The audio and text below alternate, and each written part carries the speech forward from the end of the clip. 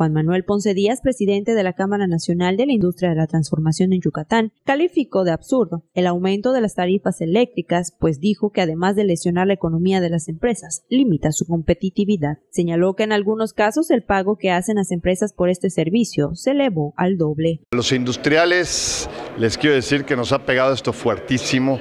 Tenemos desde el pequeño fabricante zapatos en Ticul que pagaba 20, 25 mil pesos de energía eléctrica, ahorita está pagando 55, hasta una gran empresa que decidió instalarse en Yucatán y es generadora de más de mil empleos y estaba programado que pagara un millón, millón doscientos de energía eléctrica, ahorita está pagando casi dos millones de energía eléctrica.